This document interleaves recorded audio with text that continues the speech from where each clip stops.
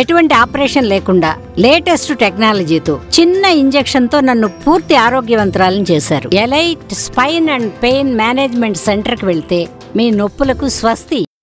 విజయనగరం జిల్లా చీపురుపల్లిలో టీడీపీ కార్యకర్తల ఆందోళన పార్టీ కార్యాలయం వద్ద ఆందోళన చేపట్టారు నేతలు. చీపురుపల్లి టికెట్ కళా వెంకట్రావుకు ఇవ్వడంపై ఆగ్రహం వ్యక్తం చేశారు. కిమిడి నాగార్జునకు టికెట్ కేటాయించాలని డిమాండ్ చేస్తున్నారు.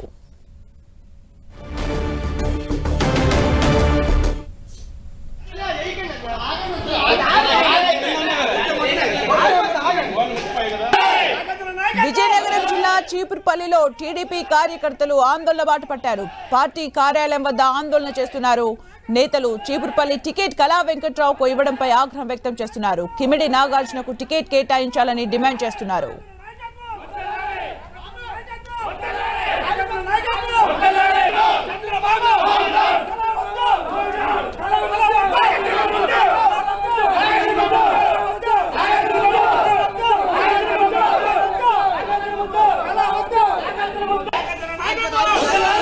విజయనగరం జిల్లా చీపురుపల్లిలో టీడీపీ కార్యకర్తలు ఆందోళన చేస్తున్నారు. పార్టీ కార్యాలయం వద్ద వాళ్ళు ఆందోళన చేపట్టారు.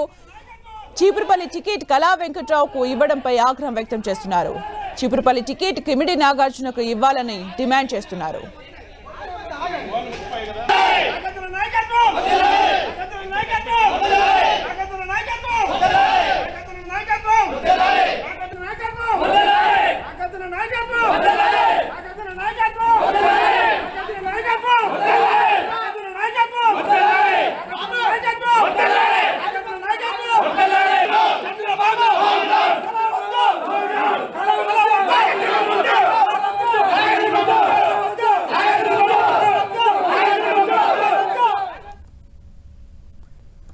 చీపురుపల్లి దగ్గర తెలుగు తమ్ముళ్ళు ఆందోళన పాట పట్టారు. కళా వెంకట్రావుకు టికెట్ కేటాయించడంపై వాళ్ళు ఆందోళన చేస్తున్నట్టుగా తెలుస్తుంది. మరిన్ని అప్డేట్స్ మా ప్రతినిధి నాయుడు అందిస్తారు. నాయుడు.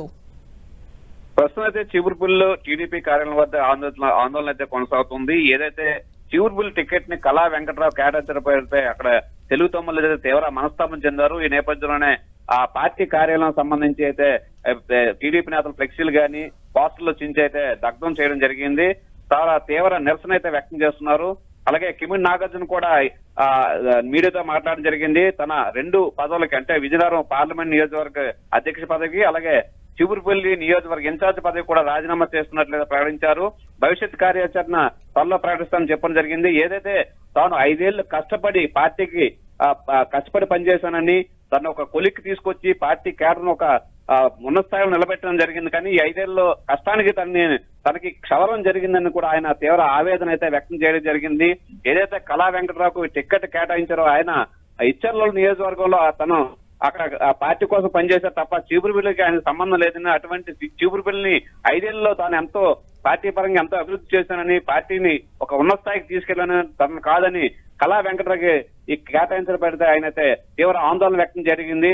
అలాగే తన అమ్మా నాన్నలు కూడా తల్లిదండ్రులను కూడా పార్టీ కోసం కష్టపడాలి తప్ప ఫలితాన్ని ఆశించకూడదని అని చెప్పినప్పటికీ ఆ విధంగానే పార్టీ కోసం కష్టపడ్డానని తిరిగి ఇప్పుడు అయితే లాబింగ్ జరగడంతోనే ఈ టికెట్ తారుమారు అయినట్లుగా తనకు అనిపిస్తుందని కూడా ఆయన ఆందోళన వ్యక్తం జరిగింది. మొత్తమే చూసుకుంటే కనుక ఎప్పటి నుంచో కూడా అంటే దాదాపు రెండు వేల పంతొమ్మిది ముందు నుంచి కూడా ఆయన అయితే చిగురుపిల్లిలో ఆ, పనిచేస్తూ ఉన్నారు. రెండు వేల పంతొమ్మిదిలో ఆయన బొత్స సత్యనారాయణ మీద అయితే ఓటమి చవి చూసారు అయినప్పటికీ ఆయన నిరాశ చెందగా రెండు వేల పంతొమ్మిది నుంచి ఇప్పటి వరకు అయితే నాయుడు అంటే ఫైనల్ లిస్ట్ వచ్చిన తర్వాత కళా వెంకట్రావుకి టికెట్ కేటాయించడంతోనే అక్కడ కిమిడి నాగార్జున వర్గం అక్కడ ఆందోళన బాట పట్టారు మరి ఆ, చంద్రబాబు నాయుడు బుజ్జగింపు చర్యలు కానీ ఏమైనా చేపట్టే అవకాశం ఉందా. ఎందుకంటే ఫైనల్ లిస్ట్ తర్వాత అసంతృప్తుల వలన పార్టీకి నష్టం జరిగే అవకాశాలు ఉంటాయి ఏమైనా బుజ్జగించే ప్రయత్నం చేస్తున్నారా? ఎస్ ఖచ్చితంగా ఉంటది. ఖచ్చితంగా కూడా నాగార్జున పిలిపించి ఆయనకి బొద్దగించే ప్రయత్నం అయితే జరుగుతుంది. కానీ ఇప్పటికే ఆయనకి చాలా ఆలస్యమైందని చెప్పొచ్చు. ఎందుకంటే ఇటీవల కాలగలే చిపురుపల్లి టికెట్ని ఆ గంటా కేటేస్తారని నిన్నటి వరకు కూడా ప్రచారం జరిగింది. ఈ నేపథ్యంలోనే అక్కడ కిమిన్ నాగార్జున ఎప్పటి నుంచి ఇన్ఛార్జ్గా పనిచేస్తున్నట్టుగా ఆయన హోల్డ్లో పెట్టారు. అయితే ఈ ఈ గంట వ్యవహారం తేలకపోవడంతో ఈ మొత్తం ఆయన కూడా నిరీక్షించారు. తనని ఎక్కడ మళ్ళీ తిరిగి ప్రకటించే అవకాశాలను కూడా ఆశాభావంతో ఆయన ఎదురు చూశారు. అయినప్పటికీ ఈ రోజు సడన్గా కళా వెంకటరావు పేరు తెరపెట్టడంతో అయితే ఆయన తీవ్ర మనస్తాపం చెందారు చాలా ఆందోళన వ్యక్తం చేస్తున్నారు. అయితే ఈ నేపథ్యంలోనే అధిష్టానం నుంచి కూడా ఆయనకి పిలుపు వచ్చే అవకాశాలు ఉంటాయి. ఎందుకంటే గత ఐదు సంవత్సరాలు కూడా పార్టీని అక్కడ కష్టపడి పనిచేశారు ఆయన.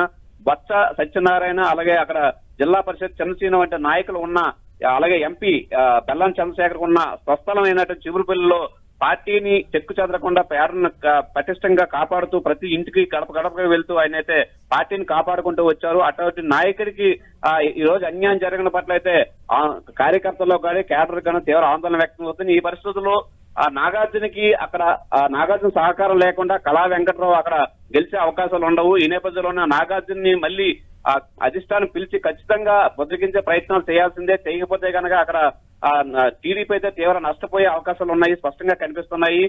కళా వెంకటరావుకి నాగార్జున సహకారం లేకపోతే కనుక అక్కడైతే టీడీపీకి ఇబ్బందులు ఉన్న పరిస్థితులు ఉన్నాయి. ఈ నేపథ్యంలో ఖచ్చితంగా కూడా అధిష్టానం ఆయన్ని పిలిచి ఆ, బుజ్జగించే ప్రయత్నాలు చేస్తుంది. అయితే అటుకి అటు ఆయనకి ఎటువంటి భవిష్యత్తు సంబంధించి ఎటువంటి అవకాశాలు ఇస్తారు? ఎటువంటి హామీలు వస్తాయనేది మాత్రం మాత్రం ఆ, స్పష్టత లేదు. ఈ నేపథ్యంలోనే కల- ఆ, నాగార్జున మాత్రం తీవ్ర మనస్తాపంలో ఉన్నారు. తాను ఎట్టి పరిస్థితుల్లో కూడా ఎంతో కష్టపడి పార్టీని దిశకు తీసుకొచ్చి ఆ చిన్న చిన్న కారణాలు చూపించి తనను తప్పించడం పట్లయితే తీవ్ర ఆవేదన వ్యక్తం చేస్తున్నారు.